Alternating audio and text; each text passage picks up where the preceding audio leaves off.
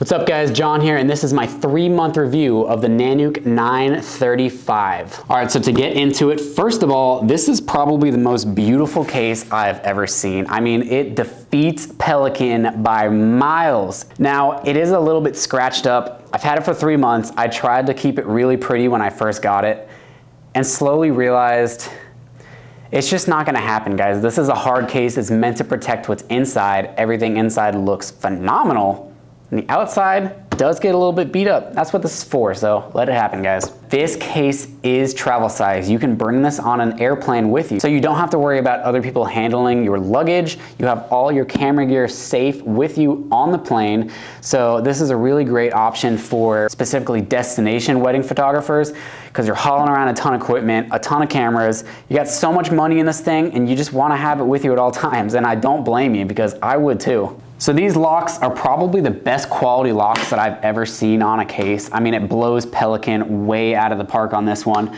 They come up here like this and they latch down. You close it up and you can't pull it up. So to be able to open this thing, you do need to push this little pin right here, pull it up, and then it latches and it comes right off and you can latch it down like that so it doesn't get in the way either. So it does also have these little eye rings on here so you can um, lock this up if you want to. You can throw a little padlock on there or whatnot.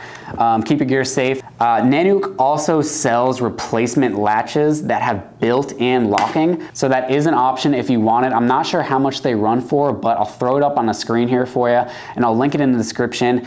It definitely is a good option if you're traveling a lot and you're leaving your case in the uh, car, back of your car. Someone tries to take it and they want to open it up. They can't. It's bolted shut. They're gonna have to cut into this thing and at that point, they're probably just gonna leave it behind. So the handles on this thing are actually really, really nice. This one up front snaps into place so it's not just flapping around in the wind when you're rolling this thing. Snaps right in, you can pull it out, stays out of the way. The top handle right here, which is probably my most frequently used handle, um, you grab this, you lift it up, and you let go and it retracts right back into itself. So that is super nice.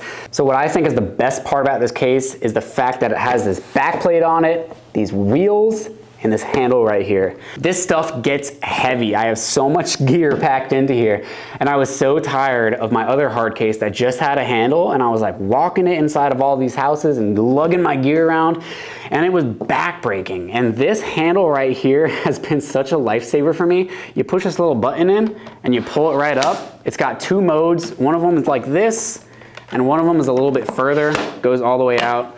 Um, I'm about six foot and the top the top one is pretty much the only one I use. I'm, I'm never really using this um, this level, but it clicks really nice. No complaints here. So next up is these wheels. They are poly coated and they are super smooth. I actually replaced my desk chair with poly coated wheels from the stock original ones I had on there and it rolls so smooth now. I couldn't be happier with these wheels. When I'm going into a client's home and they have nice flooring, you know, I don't want something just rattling around, making a bunch of noise you know, making the homeowners think that I'm scratching up their floors. You don't hear a thing when you're rolling this thing. It, it's so smooth. They've done a fantastic job implementing these wheels into design. They are great. So this right here is a pressure equalizer. So when you're going on an airplane, the pressure inside the case will be able to get released when you're up there in the sky. This is a sealed case, so it's water sealed and all that. So it's very, very nice to have that and not have to worry about things getting a little bit too steamy up in this guy.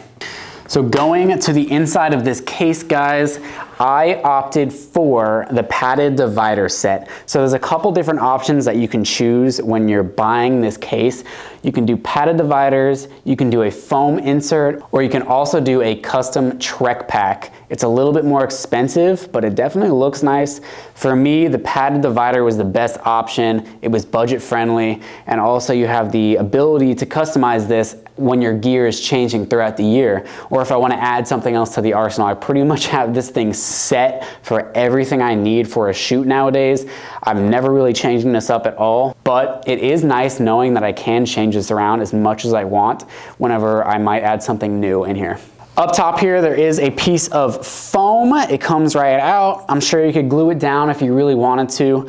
Um, it just pokes right up here in between these crevices. Uh, Nanuk also offers a lid organizer for the top if you want to switch out this foam panel.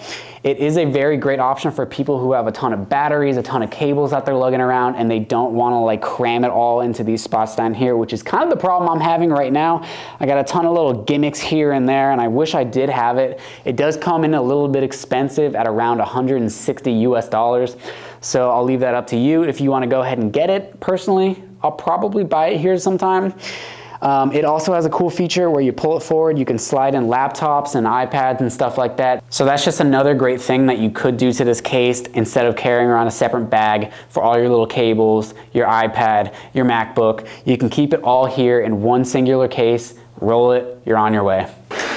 So this is the rubber seal that outlines the entire lid here. It's what creates that watertight seal so you don't have to worry about the outside elements getting into your thousands of dollars of equipment. So this lid actually comes off as well. They have these little stainless steel pins that you twist and you pull right out. You're able to take this entire lid off if you want. So that could be great for someone like a DJ who has, you know, sound equipment in here and you want to pop this on a table, take your lid off and be able to have your stuff still somewhat protected just without a lid, without this lid kind of blocking the whole view. It's just gonna be out of the way and you still got your stuff in here how you customized it. So when I was organizing this, the whole goal was to keep everything very easily accessible. There are a couple things here and there that might be a little bit hard to get to, but they're things that I don't use often that I might pull out if I need it in like a one case scenario or whatnot. So over here on the top of the case, I have my main go-to camera. It's the Sony a7 IV and the way I designed this pocket to hold it you also have access to the SD cards very easily without popping the whole camera out. I just go like that and I got my SD cards, I'm able to put them right back in. I always keep my Sony um, 16 to 35 millimeter lens on here. It's what I use every single day as a real estate photographer. So that pretty much always stays on there. Right up above it, I have my SD card case. Very, very useful to have. Keep a couple SD cards in there. SD card reader for drones. And then right above that, I have the Ricoh Theta Z1. This sticks right up here, nice and protected. And then I have a couple extra lenses here. This is a 35 millimeter 1.4, one of my favorite lenses of all time. I also have an 85 millimeter Rokinon 1.4. This gets some really, really nice shots. I couldn't live without it. One of my favorite lenses if I'm ever doing weddings or portraits, stuff like that. Got a couple extra drone batteries here stacked up onto each other. Got the drone strapped in right here. Have the Air 2S and it fits in here nice and snug. And right underneath that, I actually have my Rode video mics here, the ones that I'm using for this video, but that just goes right under the drone because I'm not using that every single day, but I am using it, you know, maybe once a week, maybe twice a week. Living on the coast, this drone is definitely flying every day, so that's why I keep it right on top here. It straps right in, keeps it nice and safe. Down here on the bottom right, I have the controller for it. The cable is right here to connect my phone. I've got a spare camera body right here. This is the Sony a7 III. So if I ever need a secondary camera angle, I'm able to pop this out, set it up, and have that side angle shot if we're doing an interview style video or something like that. Or if this camera happens to break, I have a spare on me. Keep a couple extra batteries here right next to it. They stay fully charged. I carry three on me at all times. And right above that, I have a phone gimbal. This is for when we're doing like vertical walkthrough tour videos, quick tours, stuff like that. Um, it's really nice to just be able to pop your phone on this and get some B-roll or whatnot behind the scenes, um, stuff like that. This is the DJI Osmo 5, I believe. Right underneath that, got some filters. Don't really use these as much as I should, but I have them here for every single lens. So I keep these here in the back. Got a camera blower, dust out my sensor. Have a battery bank here, so if something dies like the Ricoh Theta Z1 and I'm doing a virtual tour, I have this. This has been super helpful bringing this to every single shoot. Keep my trusty door stop here for those annoying doors that just seem to always want to close. Up here in this top pocket, got a couple little gimmicks, you know, stuff to clean off the lens again. Got an SSD for the computer.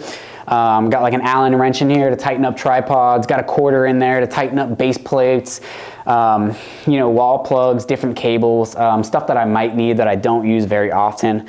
Um, you know, I keep it in here with me. So that is my review of the Nanuk 935. I hope you guys enjoyed and got some value out of this video. Let me know in the comments if you are gonna be picking up this bad boy to protect your gear. And as always, I'll see you in the next one.